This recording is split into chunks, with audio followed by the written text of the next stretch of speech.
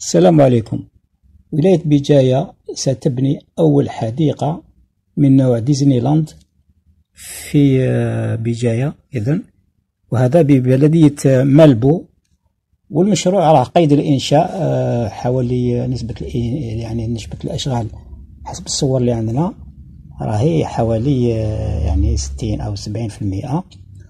و يعني مثال هذه الحديقة المائية آه، على شكل ديزني لاند آه، تتربع على مساحة 2.1 هكتار وسوف تفتتح آه، في سنة 2023 وهي الأشغال بدات في 2016 وكذلك عندما تشتغل سوف تشغل حوالي 250 تخلق 250 منصب شغل